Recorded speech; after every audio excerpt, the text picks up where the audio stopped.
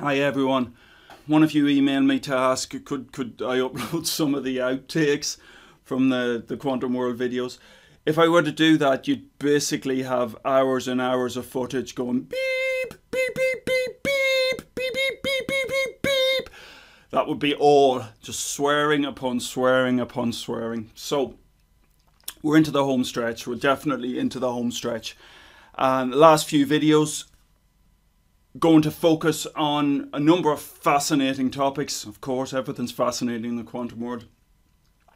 We're going to start with something called the simple harmonic oscillator, something you're very, very familiar with.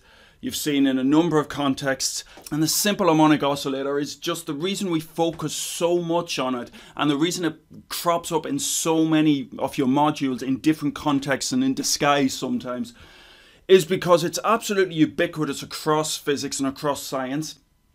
Because once we want to describe vibrating systems, oscillating systems, be they atoms, be they molecules, be they bridges, be they fluids, be they solids, be they whatever, at some level we're going to come back to the simple harmonic oscillator and build up from that foundation.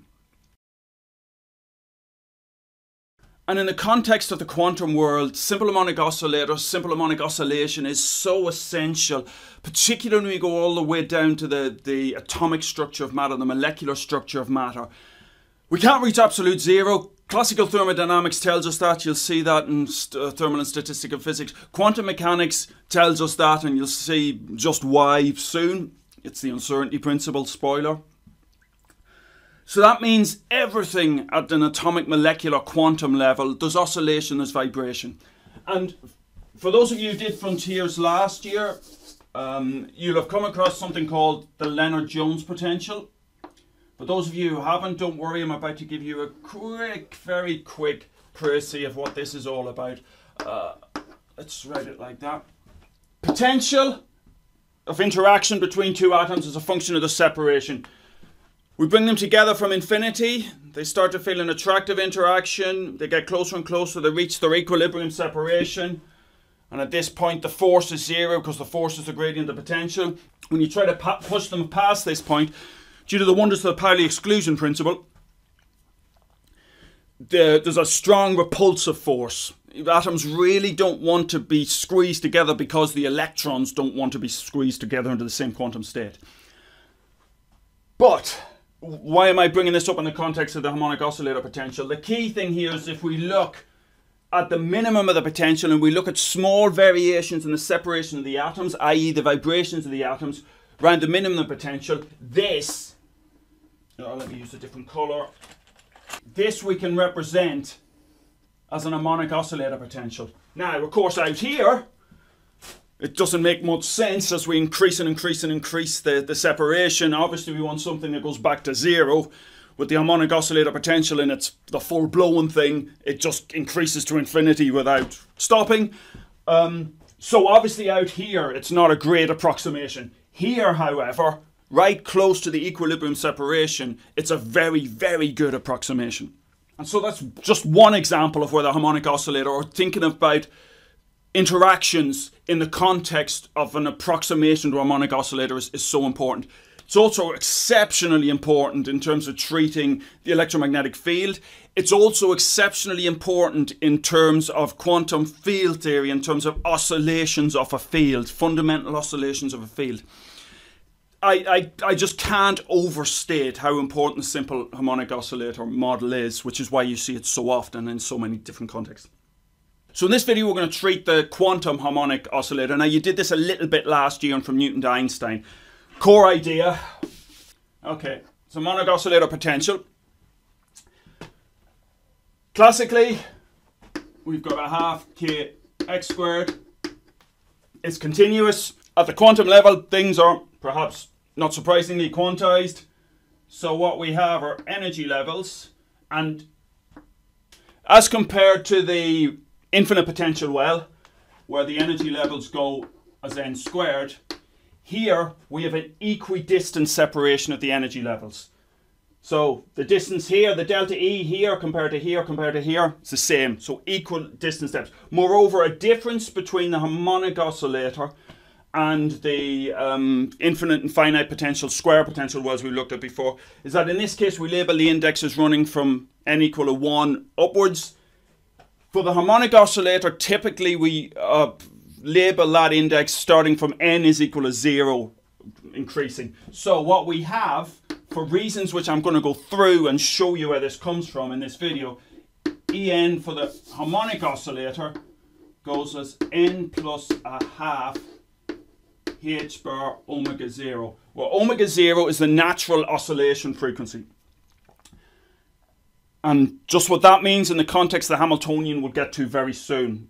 For now, I just want to stress two things. If we set n equal to 0, then what we have is obviously we have, we, as compared to the classical case where we can have zero energy, quantum mechanically we can't have zero energy. We have what's known as the zero point energy.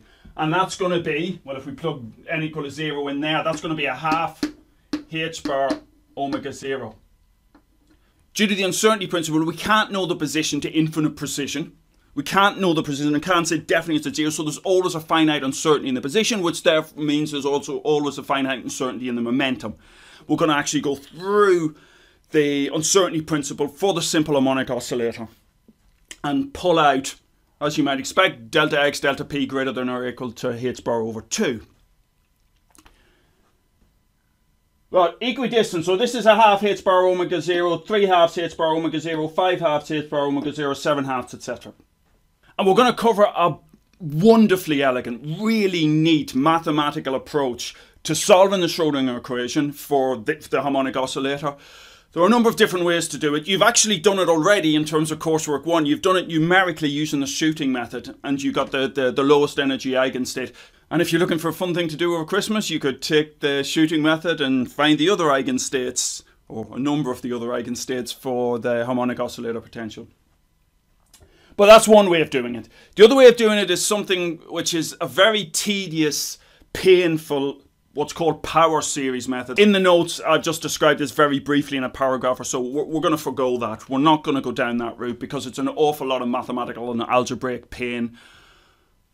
You do get the um, the eigenstates and the eigenvalues out in the end. I'm going to show you a much more elegant method which Griffiths in his quantum mechanics textbooks describes as diabolically clever. It is indeed fiendishly clever. It's really neat. Now, you've seen the harmonic oscillator potential a number of times. You've seen it, as I said, in coursework one. In fact, all of coursework one was based on it. A number of worksheet problems, worksheet four, I think, are related to harmonic oscillator. There'll be a couple of uh, worksheet problems on worksheet eight as well related to harmonic oscillator. So you've seen it before. You also, said, as I said, saw it from Newton to Einstein last year.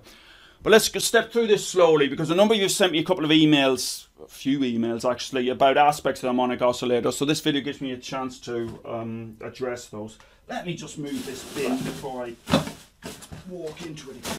Okay, so our Hamiltonian for the simple harmonic oscillator is our standard minus h bar squared over 2m. In, would keep it in one dimension, d squared, d squared dx squared plus, what's this going to be? Well, this is going to be the potential. For, so what's a potential? Well, a potential, if we think classically, is this for an harmonic oscillator. Well, we've got some spring constant. Now, usually we, and you may have noticed in the co coursework, that what we do is we, let me just make this a little bit smaller, shift it across. We call that an effective spring constant because it's, you know, not a real spring many times. Um, so, for example, the um, example of the atoms interacting.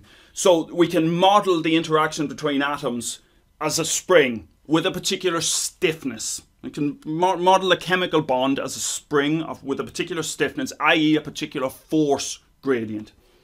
Hence, we talk about an effective spring constant. So, what is this? Our natural resonant frequency is given by this very simple expression, which you've seen before.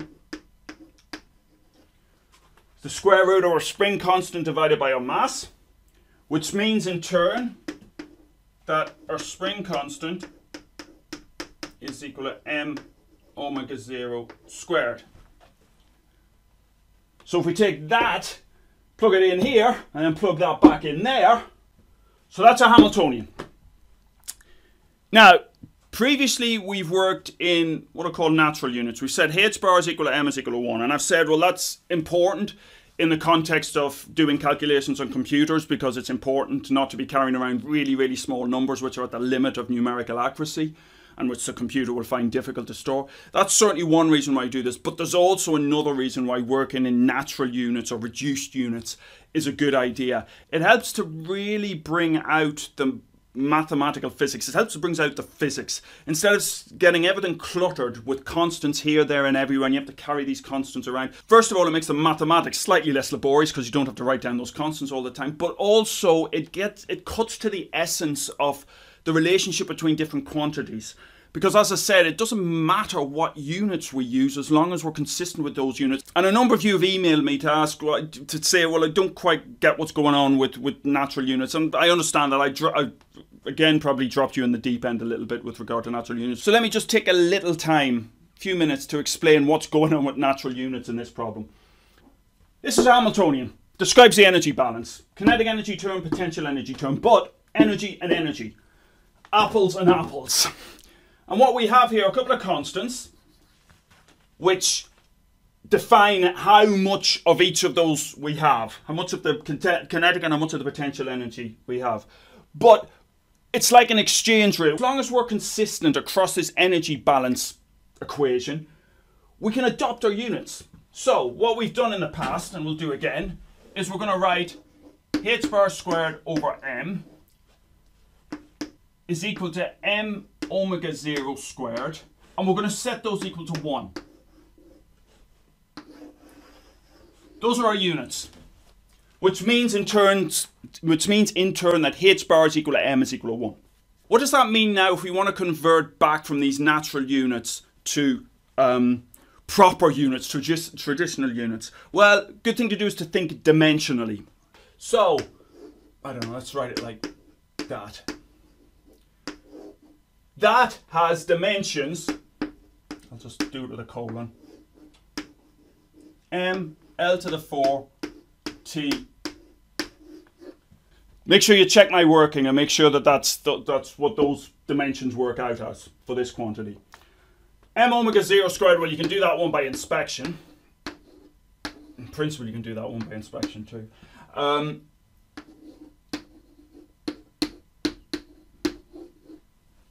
So if we look at these two things, well, first of all, we see that, okay, we can pull out a length, um, something with dimensions of length, very, very straightforwardly, if we just divide this by this. Because the m, t the minus 2, mt minus 2. So our, that means our unit for length, if we want to translate back from our natural units to, to, to real length units, will be defined by, let's do it, and notice that was to the power of 4. So what we're going to have is our h bar squared over m divided by m omega 0 squared. And what we're going to do is take the, that to the quarter of power. That will give us a, a length unit.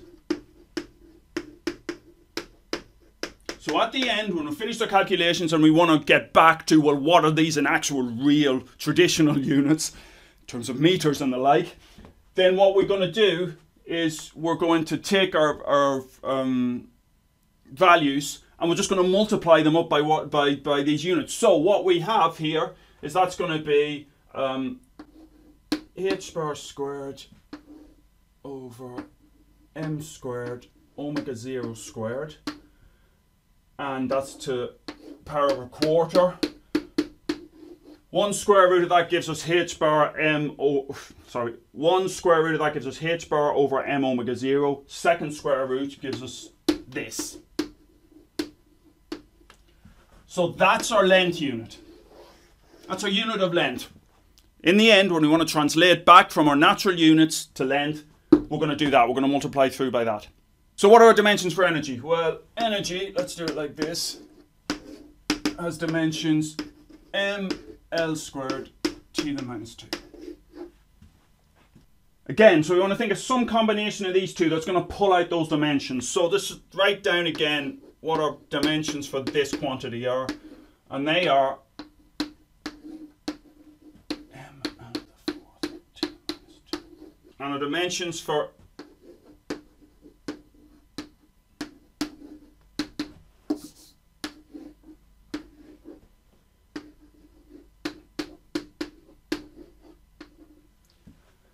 So, we look at this thing, if we take the product of those two, we're going to have m squared, l to the fourth, t to the minus fourth. If we then get the square root of that, then we get back to these dimensions, which means then we've got our um, energy quantity. So, our energy units are going to be product of these, the square root of the product of these two things. And out will pop a very familiar formula.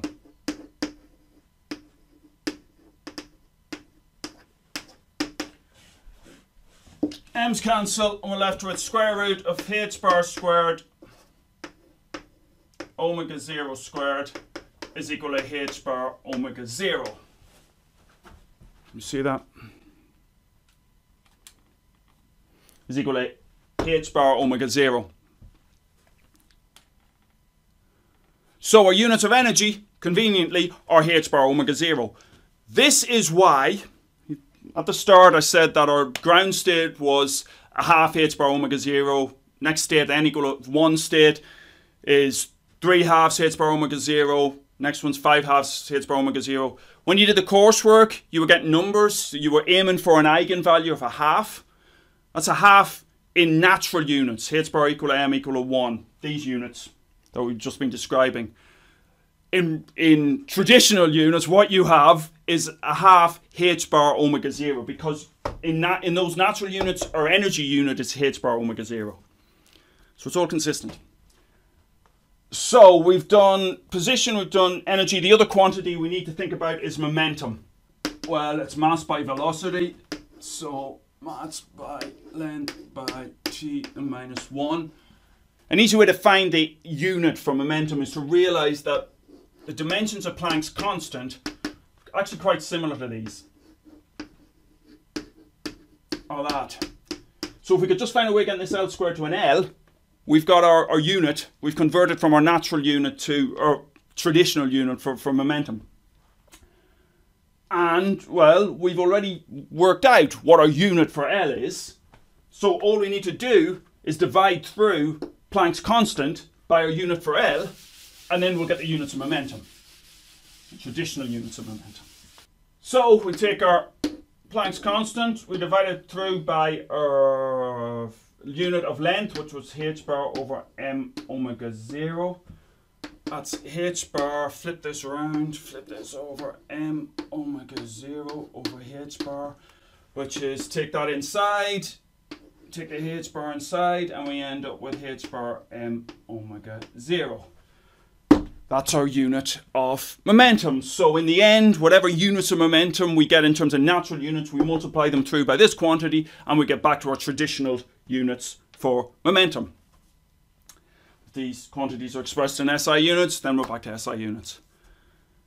Hopefully that makes sense. Let's clear things up. Working in natural units like this I know can be a little bit jarring, not least because you've been told from a level, possibly GCSE unit units, make sure you express it in units, etc. And that's of course you should, you obviously have to define what your units are.